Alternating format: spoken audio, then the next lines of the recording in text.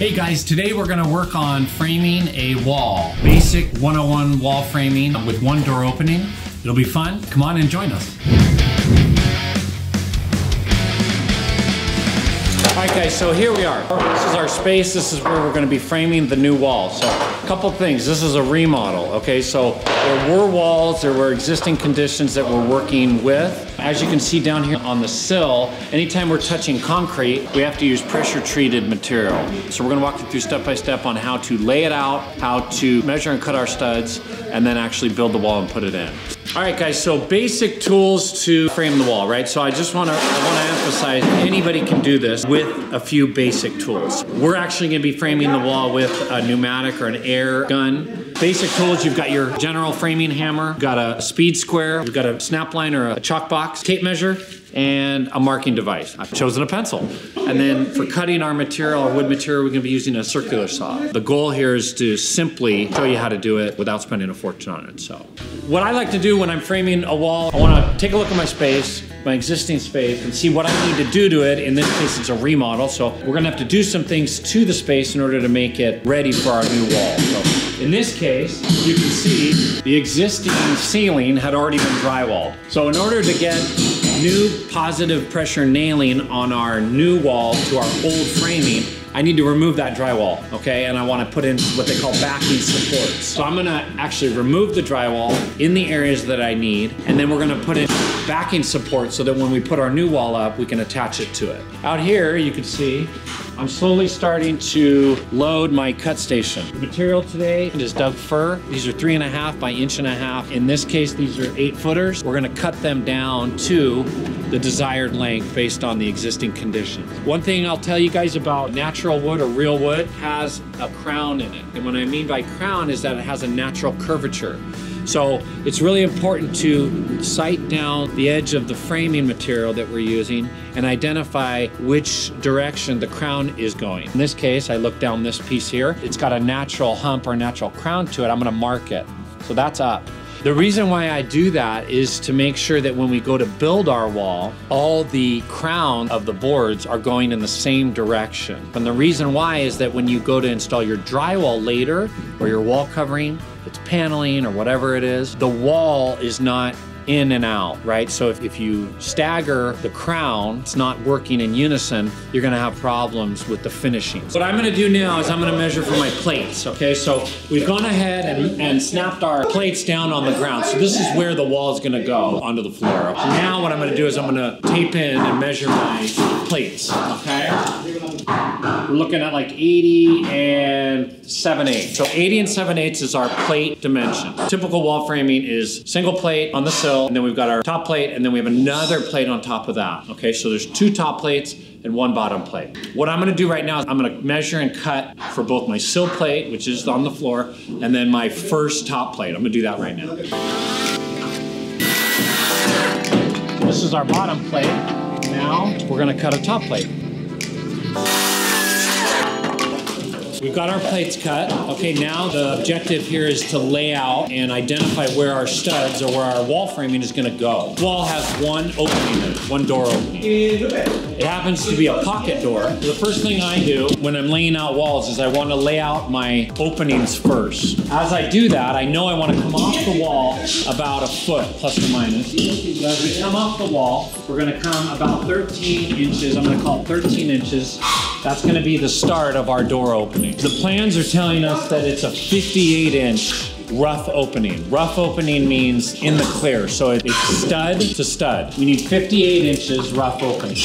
Door openings require a minimum of one trimmer underneath them. So we have a king stud and a trimmer. This mark right here represents the opening where it's gonna end up, right?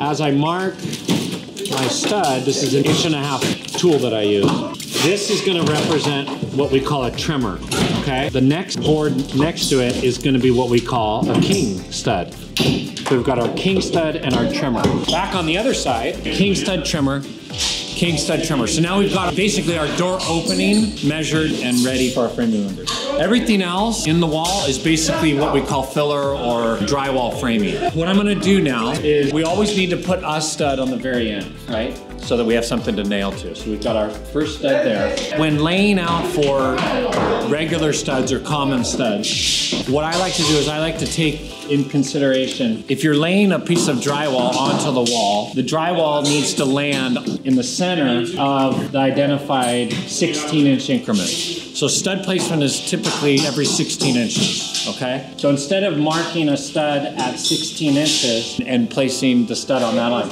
I actually measure three quarters of an inch back so that if we were to install a brand new piece of drywall up against this corner here and it broke on a stud or landed on a stud, you'd be landing on the center of the stud. Versus if you were to go 16 inches on your measurements and you put the piece of drywall in, you'd have to actually cut the drywall back and lose a little bit of drywall material. So by simply shifting your studs three quarters of an inch one direction, you're gonna help ensure that your drywall lands on the center of the stud, hence saving you material. The general rule is they call it 16 inches on center. So 16 inches there needs to be support structurally. But if we just shift three quarters of an inch back and go 15 and a quarter, 31 and a quarter, and so forth and so on, we're ensuring that whatever material we put up against the wall there is going to land directly on the center of the stud and hence save material. 15 and a quarter, 31 and a quarter, 47 and a quarter, 63 and a quarter, and then we've got one on the very end. We've got one here, and I'm gonna mark which side I want the stud. So I want my stud on that side. And notice guys how I'm marking both plates identical. Okay, that's gonna ensure that when we build the wall and throw it up, everything is lined up perfectly. So now this wall is essentially laid out. Now, because there's an opening in the wall, we need to put what we call a structural header in, or a header to carry the opening weight. Headers go from king to king. The trimmers are installed underneath the header, and I'll show you guys how that works. I need to get a measurement for my header, so I'm gonna measure from my king stud all the way over to my king stud. This header actually measures out to 60, I go a little bit less, 61 and 5 sixteenths. Okay, now that we've got our bottom plate and our first top plate measured, we got to take into consideration our second top plate, right? Typically, what we do on first plate and second plate is the second top plate is going to be either three and a half inches or the thickness of the wall that it's intersecting short, or it's going to be three and a half or the thickness of the wall that it's intersecting long. I've marked what I need. I've set my table adjusted down to only an inch and a half because that's all I need. This goes inside. So now as you can see, we've got our plates on the ground. We've got our sill plate, which is plate that goes on the ground. We've got our first top plate and then essentially our second top plate. If you notice, this top plate is longer because it's gonna be overlapping onto this two by six material. The reason why we did that, and you can see, five and a half inches longer, is because we want to make sure we have good positive connections. So it's not necessary, but it's, it's typical. Now that we've got everything laid out, we're going to measure for our studs. So I'm going to measure the overall distance here, which is 86 and we'll call it three quarters. That's our, that's our concrete to our existing ceiling. Now remember, we've got a sill plate, we've got one top plate and another top plate. Our stud length goes in between. So that's that's the dimension that we need to determine. So these plates together are an inch and a half each. So we've got an inch and a half, inch and a half, inch and a half, which is four and a half. I like to go a little bit more because once you start putting the wood together, believe it or not, it actually starts to grow a little bit. So instead of four and a half, I'm gonna take off four and three quarters. Give us a little bit of play. Our concrete to our ceiling height is 86 and three quarters. I'm gonna subtract four and three quarters from that. That's our stud height. 86 minus four and three quarters is 82. So 82 is our stud height. We've gone ahead and cut our header. Okay, so this is the piece of wood member that goes above our door opening. To make sure we don't get confused and all our marks get transferred up properly, I haven't moved our plate. So what I typically do now is I'll lay down my header basically where it's supposed to go. Now what I'll go ahead and do is I'll mark, we know we're gonna put a stud right here, right? Stud, I'm just gonna transfer all these marks up so we don't get confused. Everything lines up, that's the goal. Now I can transfer these up so that we don't get confused. Just like we crown our studs, we also crown our headers. Crown is actually going up. We want to make sure when we install headers above any opening that the crown always goes up. It's very important. It's more important for the crown of a head of a structural header to go up than it is the studs. The studs is more of a convenience, right? So when you install the drywall, you don't have a problem. The headers need to be pointing up because over time, naturally, the wood is going to start to settle just due to gravity, due to the weight of whatever's sitting on top of it. And so if it's already upside down, it's gonna continue to move down. All right guys, so now that we've determined our stud height, I'm gonna measure how many we need and go cut them. Looking back at our wall that we've laid out on the ground here, we have some studs that are full height, others are what we call cripples, and they go on top of the header. Anything that is going inside the door opening obviously is not a full height stud, right? Because it's an opening. Anything outside of your door opening, those are full height studs. So now I'm gonna go through and count how many I need and go cut them. So we've got one right here on the very end, okay? We've got our king stud, which goes from plate to plate. Now we've hit our door. We're not gonna put any full height studs in our door, right? Because we've got our door opening in the way. So we've got one, two, and then we come down here, we're still in our door. Our door runs all the way to where? King, right? And then we've got our king. So that's number three. And then we've got one on the very end. So we've got one, two, three, four. We need four full height studs, okay?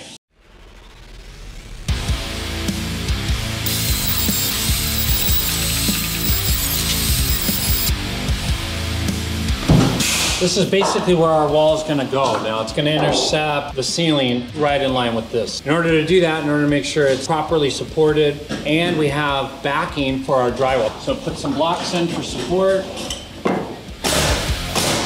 Same thing on the other side. These blocks allow us to go ahead and put our backing in up against a solid surface. Basically, now you can see you've got support there. So the wall goes up, we have something to nail our new wall to. Okay, so that's the reason why we do that. And now we've got our space kind of cleared out and ready to go. We've got all of our, plates cut. So to explain how this works, I'm gonna draw it for us, okay? Represent our, basically our door open. This is our concrete. Then we've got our top plate, and then we have our second top plate. This plate right here is an inch and a half thick. The bottom of the header goes at the top of our door opening. So in this case, we want our door height, our door opening to be 85 inches off the floor. So from concrete to bottom of header is 85 inches. We laid everything out in unison so make sure we add it to where we're gonna be doing it the same way. This X right here goes up against the wall. This X goes up against the wall here. That way we don't confuse ourselves. Remember we crowned all of our studs. So David's just taking his studs down and he's laying them out, the four common studs where they're supposed to go. We've got our two kings and then we've got our ones on the end. When we nail off our studs on the very, very end, what I like to do is I like to hold them back a little bit from the very edge. As we put our plate in and our stud together, I don't want to nail these right even flush. I actually want to shift my stud in a little bit, an eighth of an inch or so. And the reason why we do that is so that when we go to actually put the wall up, we don't have any interference or any restrictions as far as getting everything in. Crown up, X against the wall, lay it in. Now that we've got everything kind of laid out to where it basically needs to go, David's gonna go ahead and actually start fastening the wall. On two by four studs, I usually like to put two nails per stud, okay? So two nails that go from the top plate and the sill plate down into the studs. Good.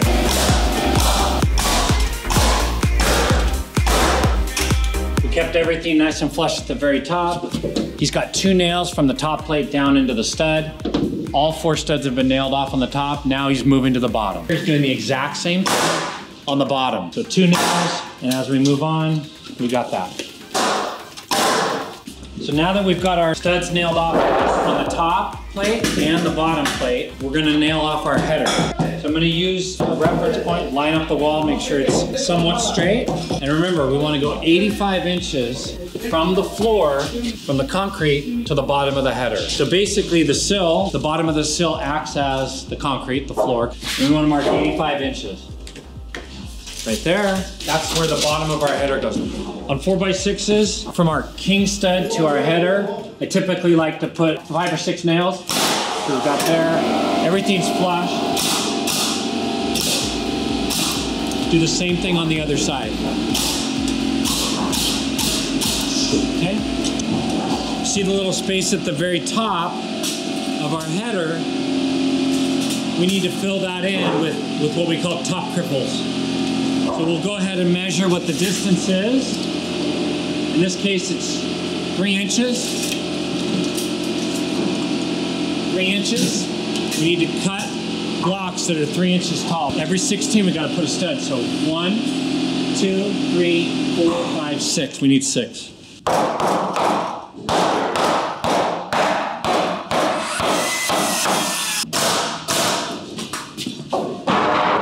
Making sure that all of our marks line up.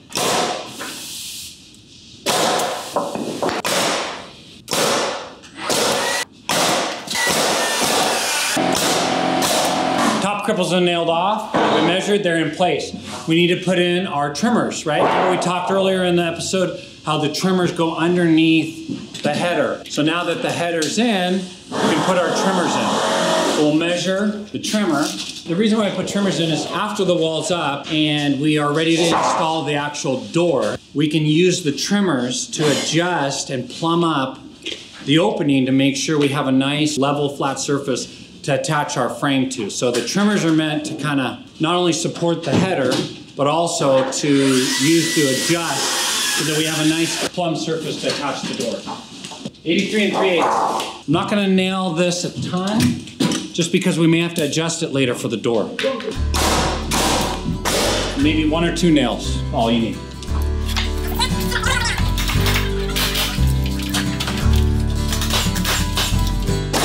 So now that we've got our trimmers in, we're gonna measure for our fire blocks. Fire blocks go at 48 inches from the sill. The reason why is to allow for both drywall nailing and if there was a fire and fire got in the wall, it would act as a stopping point. This fire block measurement is gonna be four and three quarters, and this one is gonna be eight.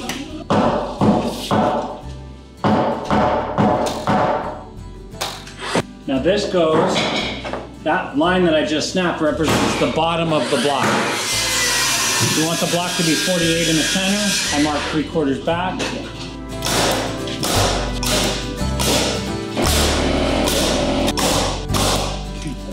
It's done. Blocks are in, everything else is ready. Now we want to put our top plate in. The top plate runs, in this case, five and a half inches longer. In this case, we're not overlapping the plates at all. Here, there we are on that side. So we want to flush these out. The top top plate gets nailed, two nails on the very, very end of the wall, and then one nail staggered up and down in each bay. We come along, I went up on that one, down on that one, up, down, up. We're kind of staggering and stitch nailing the plates together, basically. So two on the end and then staggered every 16 inches in between. This wall is now ready to go up. Okay, so now that we've got the wall ready to go, we're gonna lift it in place, put it where it needs to go, and then fasten and secure it off. As David grabs me two blocks, you can see here, we use these blocks to what we call chalk up the wall, so we have something to grab onto when we lift it. So I put the blocks on an angle, and then I lift the wall up, and now I've got the wall up off the ground, so I can, so we can lift it. One, two, three.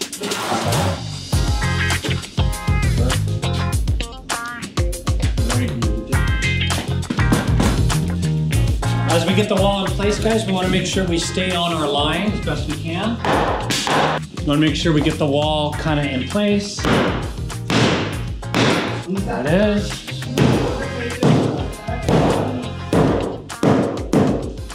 Remember, we have a new wall attaching to old framing, okay? So in order to make sure that the reveal and the connection between the new wall and the old wall are good, we want to make sure that we maintain the margin all the way up. So in this case, we marked about a half of an inch, which is going to count for the drywall to overlap on. Same thing at the bottom, half inch. What we did here, guys, we have a laser level We lined it up with our pivot point here, which is the corner of the plate here, and transfers up to the edge of the top plate there. So now we know we're in line. We need to move this top plate over to the green line so that the wall is perfectly plumb.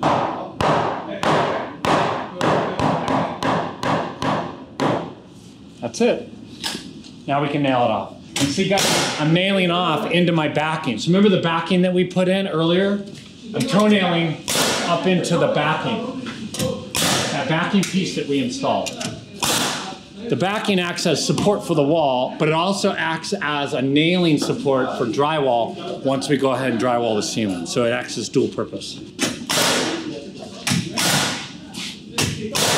So what we're gonna use to secure the wall to the concrete, there are shot pins, anchors.